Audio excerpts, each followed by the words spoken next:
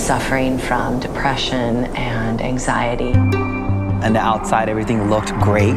But inside, oh my goodness, I was crumbling, complete chaos. Why am I feeling this way? Am I going to be like this forever? There's so much confusion, there's so much polarity. And the loudest voice in the room was like the do more, do it faster voice. Guess what? We're all gonna die. We need to be able to dance with death a little bit more.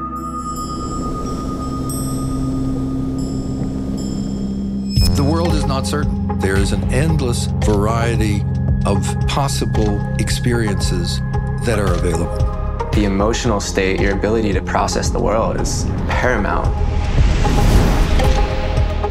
And I feel the time now is of making new traditions and of making new rituals that make sense for our world today.